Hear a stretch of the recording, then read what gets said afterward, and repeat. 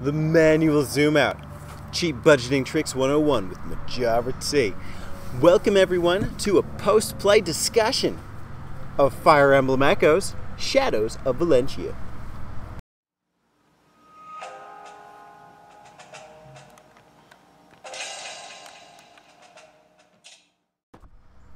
It's been a long time since I've done a post-play discussion. The video format is more likened for games that I just want to like play right through and then talk about as soon as I finish them. I mostly do it with RPGs because RPGs are kind of a pain to record a review for. And usually it's just such an investment of energy and time that I really do feel impassioned to talk about them. So let's talk about it. Let's talk about why I was able to just blaze right through Fire Emblem. Echo! Echo! Echo! You came for the puns. I know you did. You probably left because of them too, but I'm done. I'm done with puns. The post play discussion starts here. Okay, Fire Emblem Echoes. This was not even on my radar. I, I knew it was coming out, but I wasn't interested. And I'll tell you why. You know, Fire Emblem's cool, but I'm not really that into it, surprisingly. I found myself liking strategy RPGs less and less. Um, but I have liked that the direction that Nintendo has been taking with them. I don't know that the company that did this one, Intelligent Systems, if they're also responsible for the other 3DS ones, but um, to me, it's like they keep getting better and better with each one of the ones that they come out with. And this is like the grand coming together of concepts and a great step forward for this series. And I'll tell you why I bought it. Um, you know, I wasn't gonna buy it, but for some reason I saw it in the store, and I was thinking about like what I knew about the game, and I was thinking about 3DS in general, present, and um, yeah, I I got excited. I got excited about like the whole 3D dungeon crawling. It's on the back here somewhere. Um, I got excited about the characters and I, I got excited about the concept, like the warring states kind of thing. You know, I remember when this series was little more than like a trophy you could collect in a Super Smash Brothers game. Now you can actually collect the trophies with amiibo figures. So I like where they're taking the series, and I was excited to check it out. And it really did kind of blow me away how good it was, like how good everything was that was like put together. So at, at its heart, this is a Fire Emblem game, but I'd like to argue that it adopts some of the framework that makes Shin Megami Tensei 4 such a great game on the 3DS as well. You know, Nintendo recently partnered with Atlus to bring us that Fire Emblem SMT Persona crossover. So I think they're kind of learning like what makes Atlus games so great, and they're trying to apply it, which I think is great. I think it's great that they're trying to, um, first off, try new things, but keep the framework like I don't know, respectable to both.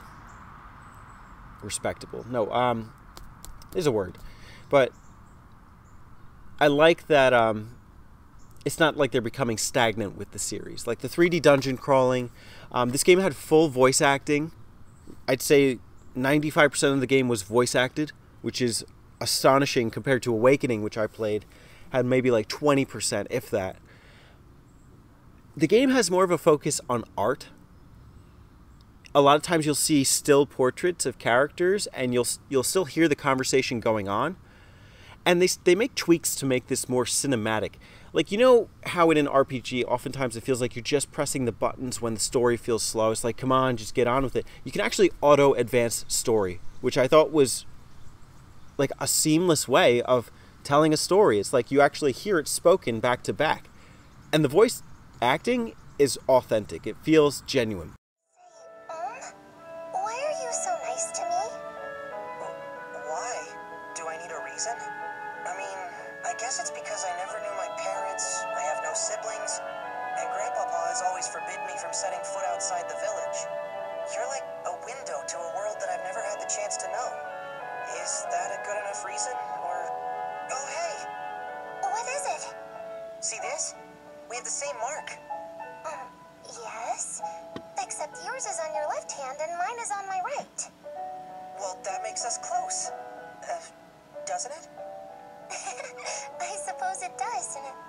sort of way.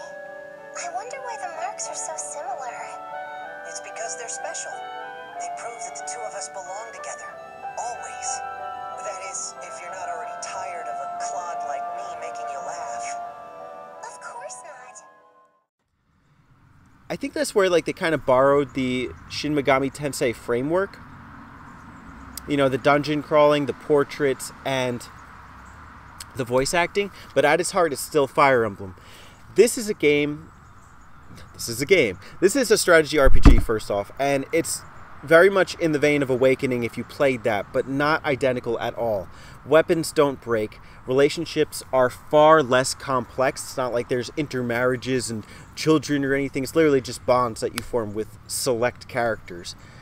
And the strategy element is kept in place. It's you know, it's sincere, it's challenging.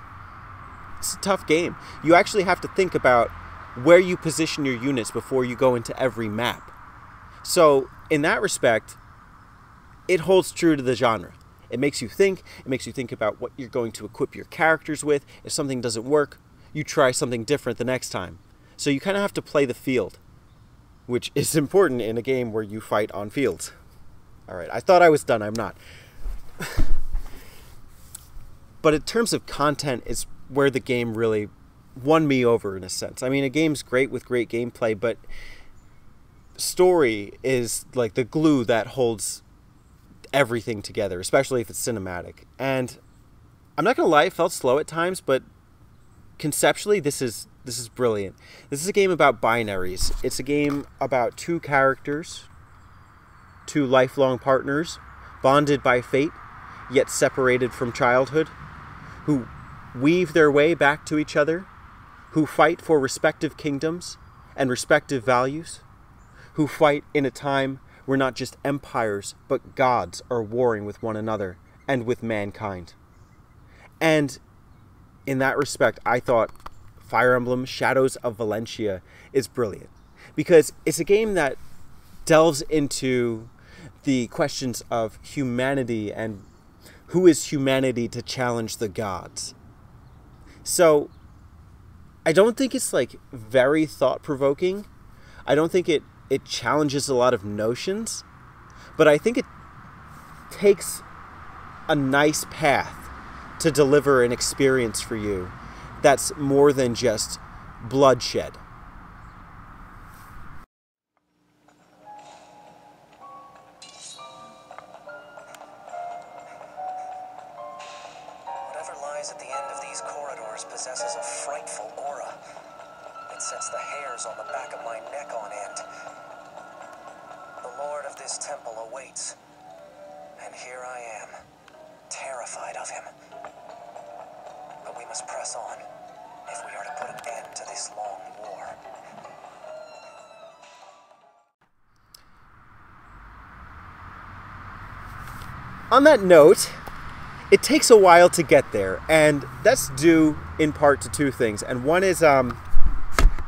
one is the gameplay.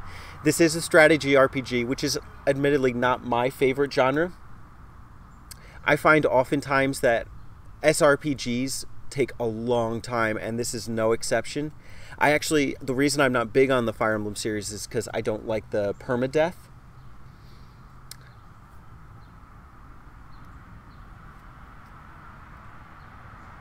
Sorry, I don't want cyclists to hear my conversation. um, I'm not big on permadeath because I feel like I keep playing the same mission over and over again, even if I'm playing on casual. Uh, so what I do is I play on hard, so I still have the challenge, but where I don't lose the units afterwards. The 3DS offers you that. That's actually why I haven't finished the GameCube version that uh, Boston Burf sent me. But at that same time, it takes me like 40 minutes to an hour to play through any one mission. And when you just play through one mission at a time, it feels like you just played an hour to go nowhere. And when the game is broken up into two storylines, it really feels like you're going slow. So, on one end, the gameplay slows things down. On the other, a lot of these story details I don't want to say feel redundant, but they feel repeated unnecessarily. Like there's a huge discussion on class conflict that emerges from some of the characters and a lot of times it just felt dry and stale and trite. It felt overused. Not just for the game, but like as a theme in general, which is fine. I get it. You know, you're taking a look back at the romantic European model of thinking and what people think, and you're challenging these notions. But um, it was over overkill a little bit, and the uh, relationships too were, I don't know. It, it really wasn't like that well developed. Like, oftentimes I found myself just kind of like skipping through the relationship dialogues as they were occurring because they just weren't interesting. But at that same time, characters are likable. They all have personality. The dialogue that they say is fun. You know, especially mid combat, like when they level up or something. Don't count Tobin out. or like, we fight for our people. I don't remember all of them, but like the Tobin line just stuck with me. Um, it's got character. Game's got character. Character's got character. It's so meta.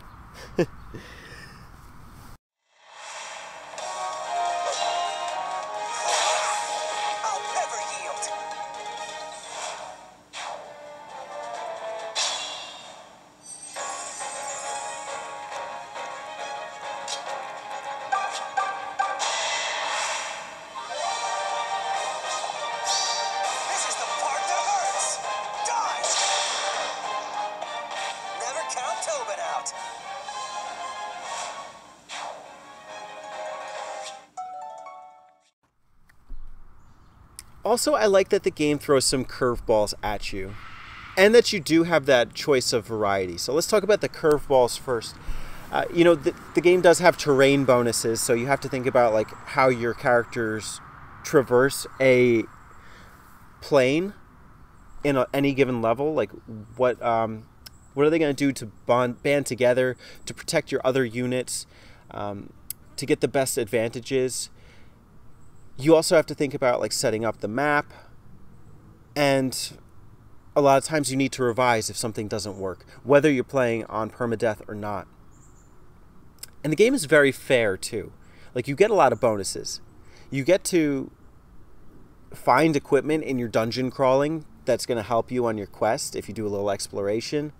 You get to upgrade or like temper your weapons. You don't get a lot of funds to do it but you do have the option which i thought was nice you also have this object which is called the turn wheel, which allows you to go back in time to reverse any kind of mistakes that you thought you made, or if you want to do something better. And the more cogs that you collect for this turn wheel, the more turns you can take back in any given match. I'm pretty sure it's per match, not for the whole game. It's not like limited in that way, but it is limited. So it's not like you're spamming it. But I definitely used it towards the end of the game and in general, like I, I guess I wouldn't have played through this whole game if I didn't have that care for it. It's a gradual experience where you get to find both sides of Alm and Celica and the empires of Rigel and Zofia and see their stories kind of grow naturally out of the characters, out of the conflicts, it's actually beautiful. It, it reminds me of like Dragon Quest IV when they all kind of come together. So immediately, like we're comparing it to Dragon Quest and Shin Megami Tensei, like you've got a winner right here. This is not just Fire Emblem anymore. This is like the next stage for Fire Emblem. And by the end of the game, you know, Awakening kind of won me over a little more at the end, but I think this was the stronger title. You know, this definitely had its moments, and the final act was like I don't know what you'd call it, like almost like the grand finale of a play or something. It's it's really outstanding what happens like by the end. The big thing I think is to to go in head first, balls deep, post play. You you got to be in it to win it, and I didn't really expect that I was going to be. But for some reason, I just I I was devoting so much time to it. If you look at my activity log, this game has the highest average playtime of any game in my collection. Like two hours at a time. Like I would be playing this game and I just wouldn't want to put it down. I'd be playing on the train, I'd be playing it at home. The handheld format's perfect. And all in all, like the package was just really nice. You know, this is a good fusion of ideas. As far as I know, this is some kind of like successor or reboot of the first Fire Emblem game. Don't quote me on that, but that's what I heard. But at the same time, it borrows all these kind of modern concepts. So I, I really liked it for that. And I would totally recommend getting it. You know, I don't think this is going to be like the legendary Fire Emblem game that's talked about for years to come, like Path of Radiance is or Awakening. But I do think that this entry is really pushing the limits of what the console can do and what the series can do. And I think it's really paving the way for this series to become more of a household title. You know, they had that whole mobile game, but but 3DS this is where the art is born, right here. Anyways, that's it. Fire Emblem Echoes, post-play discussion, Majora T back on cam, baby. Ooh, yeah. We did an extreme close out. Let's do an extreme close in. And we're to drag it out, just like the game. Joking. Anyways, till next time. Love your games. And love your YouTube. That was bad. I got to work on that.